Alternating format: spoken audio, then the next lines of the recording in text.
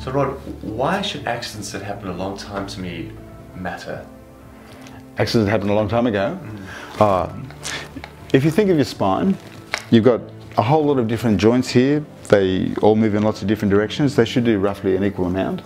And if you have a joint that doesn't move like it should, then something else will move more for it, and you generally won't know.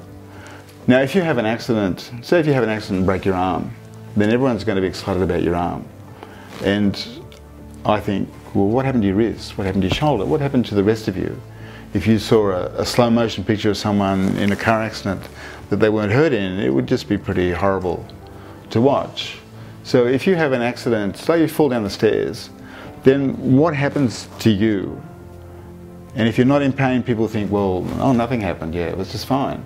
And and my thought is, well, who's checked you? And, and who's checked you who's good at actually checking, so how is everything working in your spine, which is really what chiropractors do.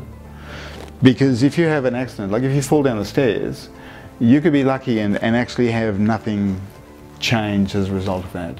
But that's, I think that's unlikely. I mean, we're, we're very adaptable and that's great, so we can, we can get around problems. But it also isn't good in that when we get around problems, we have some things that aren't moving like they should. And if they don't move like they should for 10, 20, 30, 40 years, the joints start to wear, fall apart. And you don't need that. So accidents that you weren't hurt in are, are really important. Chiropractors really frequently say, what happened to you? And people say, nothing. They go, no, what happened in the past? They go, oh, well, I had any car accidents? Oh, yeah, I had three, but long time ago. And what happened? Well, we hit a, we hit a wall. and the fruits of it have just arrived in the office. You know, it's taken 10 years or 20 years for whatever happened in that accident to finally show up as a problem.